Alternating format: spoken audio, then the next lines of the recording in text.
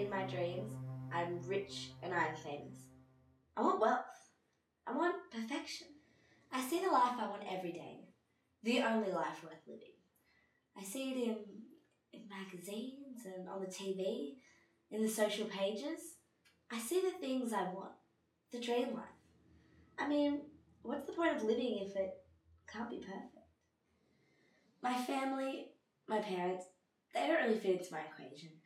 They're lovely, and I, I do love them dearly, but they really represent where I'm from and not where I'm going. There were some nice guys, but I had a list. I made a list. Criteria that a guy had to meet. On the corporate ladder, not a tradesman or a doctor or a vet or a dentist. Ugh, yuck. A guy who wears a suit every day. He's nice. Not as wealthy as I had in mind, but his parents are, so I'll be on my way really soon. The engagement was announced last month, and in front of everybody, he gave me the ring. It was just what I had expected. The ring was me, for me. It was my life. It would show who I was and prove what I was worth.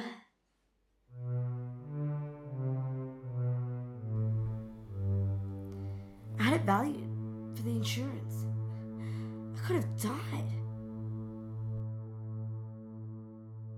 It was beautiful, big enough and expensive. I mean, he paid a lot for it. But the valuation said it was flawed. Can't believe it's flawed. It's worth nothing. It's worthless. Ah! I hated it. I had to destroy it. Anything to, to get rid of it, to end it.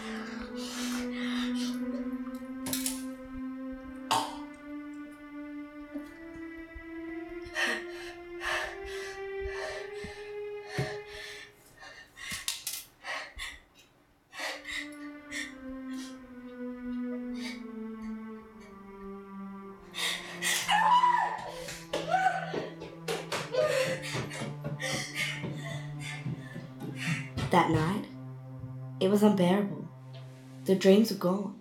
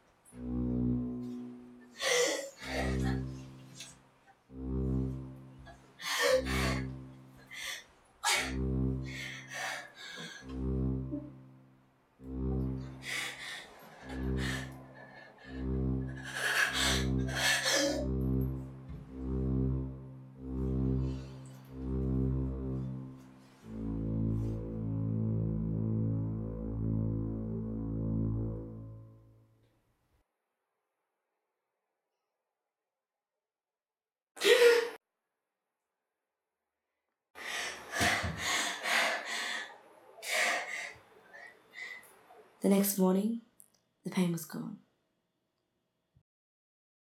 It was beautiful. It was flawless. The dream life was mine. At last, everything was perfect. Everything I wanted. Everything I had dreamed about was mine. The shows, the parties. My wedding was perfect. My life seemed perfect. Then one night, the pain came back. I went upstairs and I saw it in the mirror.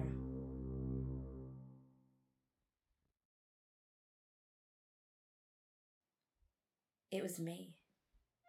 I had one chance to live the life I wanted to live.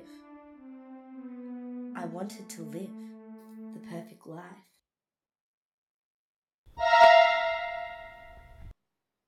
I wanted to live the perfect life. Or die.